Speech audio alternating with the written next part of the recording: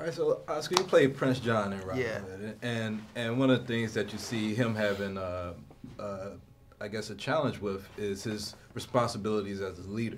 Yeah. Do you think in, in our world today, does, as do the leaders really take on what the people are saying as much as they should? Well, I mean, it is. It's always a difficult balance between the idea of all right, I'm the leader and I need to do lead the people, and what the responsibility of a leader is. Is it to lead, or is always it, is it always to listen and take the lead from the people? Right. And I think that's the big question of the movie at the time uh, uh, that this takes place. Is um, you know, at the end I say I didn't make myself king. God made me king Right. You know and it's less of a and the way that we ridley and i talked about it, it was less of like a moment of grandeur and more about like look that's just the way it is i mean i didn't i didn't make up the rules you know i'm the king you know and so i get to say what happens and Right. and i think that you can make parallels to leaders very recently that had the feeling of like look you know it's it's me and god Yeah. and you know uh, i'm going to do what i think is right no matter how many how much people are against it Right. Right. Taxation. Taxation. Milking a dry udder gets you nothing but kicked off the milking stool. Mother, spare me your farmyard memories. You have none, and I don't understand them. These are difficult times. We can buy time. We can send envoys to secure loans. There are money chests from Sicily to Normandy if you know where to look. The crown is owed money at home. The northern barons plead poverty, but that's always been the song of rich men. So what's to be done? Give me leave, sire, to go north with a company of mounted men. I'll have the merchants and landowners fill your coffers. Or their coffins.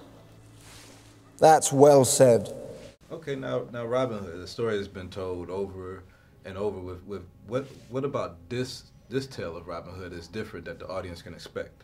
I think it's just like the, the approach was uh, if this was really happening, you know, what was it like? What would happen? What would it look like? What would it sound like?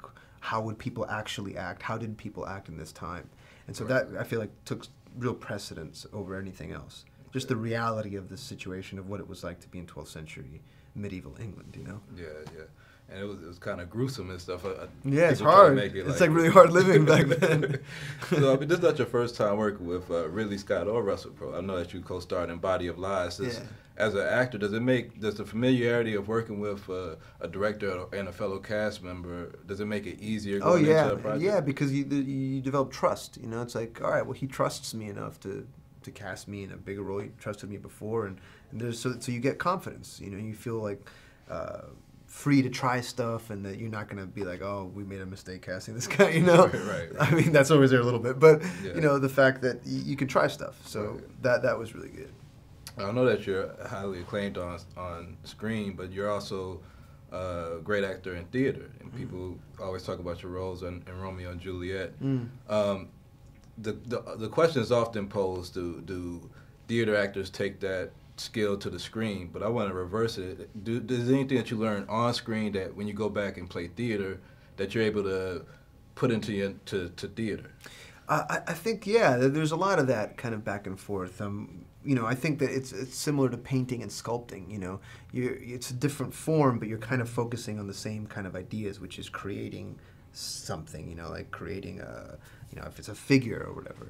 So um, so yeah, so I think there's a lot of that kind of cross pollination between the two things. If there was anything specific from film to bring to theater, it is that. Um, oh, that sense of never commenting on what you're doing. You know, sometimes in theater you get people that kind of comment on it, like they're in on the joke.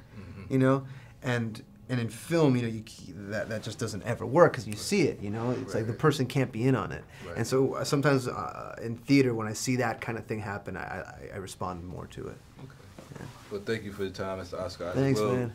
Keep on entertaining us. We'll keep on watching you. Cool, man. Thank All you very much. Thank you.